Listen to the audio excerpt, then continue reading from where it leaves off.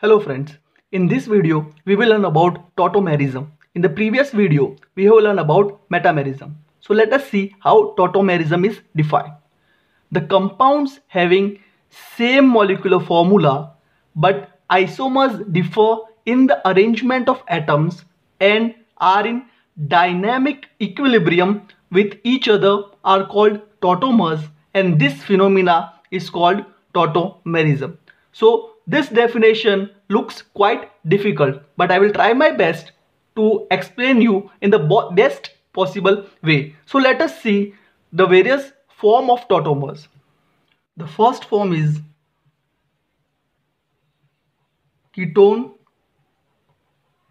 enol or keto enol tautomerism in this one isomer will be of ketone and other will be of enol. So ketone and enol will be in dynamic equilibrium with each other. Let us see this.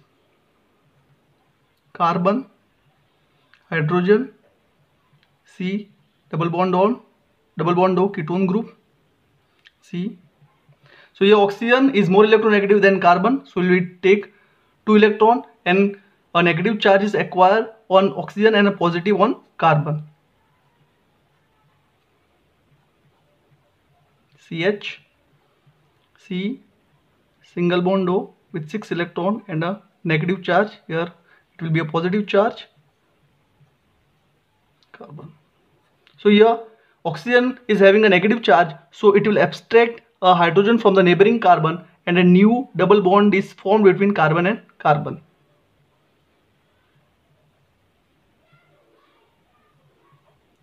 OH 4 electrons C H sorry uh, no H. So here this is my ketone form and this is my enol form.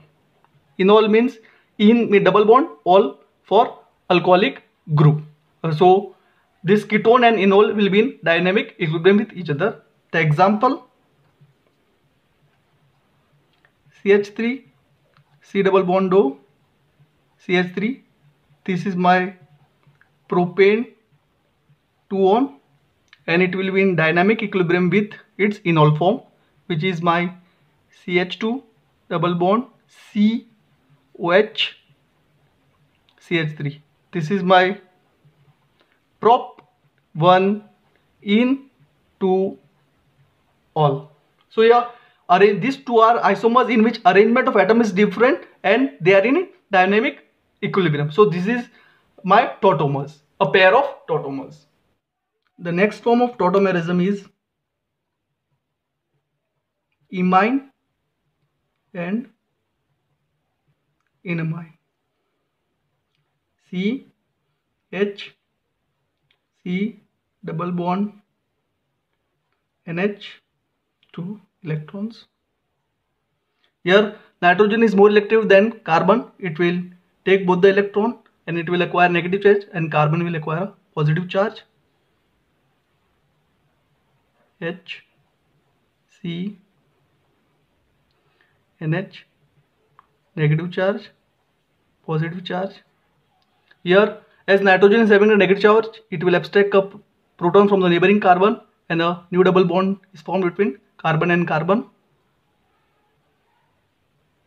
NH2 two electrons. So this is my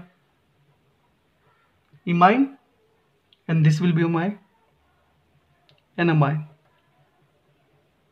so your imine and enamine will be in dynamic equilibrium with each other. The next form is nitrile and ketene imine the first isomer is of nitrile triple bond and double bond.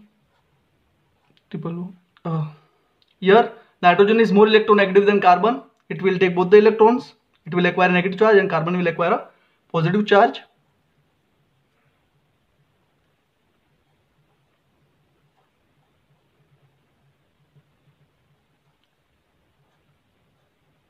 as nitrogen is having a negative charge it will abstract a proton from the neighboring from this carbon and a new double bond is formed between carbon and carbon. Double bond C double bond NH so this is my ketenimine this is my nitrile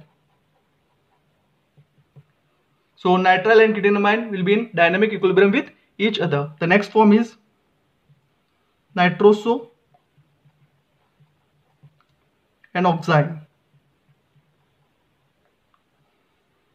C H N double bond. O. Again oxygen is more electronegative than nitrogen. It will take both the electrons as a result of which oxygen will acquire a negative charge and nitrogen will acquire a positive charge C H N single bond O negative charge positive charge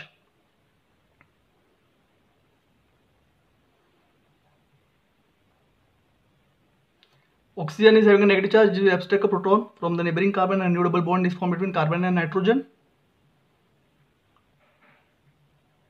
double bond N O H so this is my oxime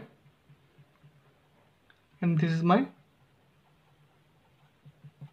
nitroso group. So nitrogen oxime will be in dynamic equilibrium with each other. So here we have seen that in both the isomers the arrangement of atom is different and these two are in dynamic equilibrium with each other. So this was about tautomerism. Hope you have understood. If you have any doubt then please write in the comment section. I will try to solve it.